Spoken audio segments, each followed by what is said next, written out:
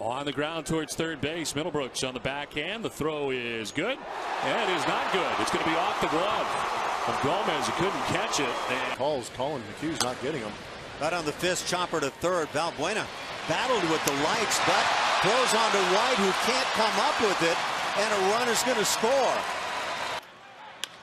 There's a chopper to third. Manny was up close. One pitch, one down. Oh, Davis dropped the ball. Against Boston on the 18th of April in Fenway. Russell Martin broke his glove. Yep. Yeah. The ball went right through the webbing of his glove. Kiermaier lines it off the mitt of Hosmer. Infante with a pickup and right back to Hosmer to retire Kiermaier.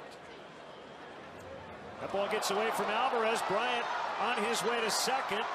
And no throw from Alvarez. That ball, look at that. On the ground, Victorino. Big hop for Reyes. Two quick outs. Reyes is laughing because he threw that ball hard. Looked like it handcuffed. Uh, you know, Gary Petty, um, it taught me like being quick. But Wow. Ball got away from Haas. Haas have a hole in his glove? Hard hit ball off the glove of Donaldson. It may have gone right through the webbing. And Rickard is on leading off.